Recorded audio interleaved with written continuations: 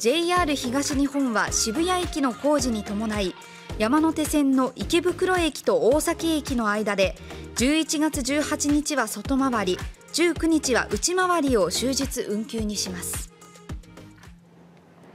JR 東日本は渋谷駅の改良工事を進めていて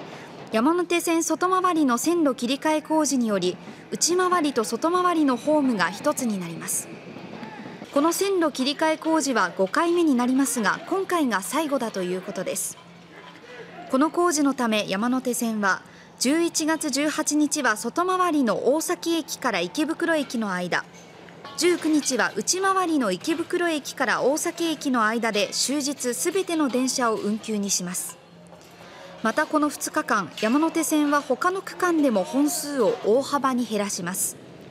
JR 東日本は山手線と並行して走行する埼京線の本数を増やしたり他の鉄道会社への振り替え輸送を行うとしています。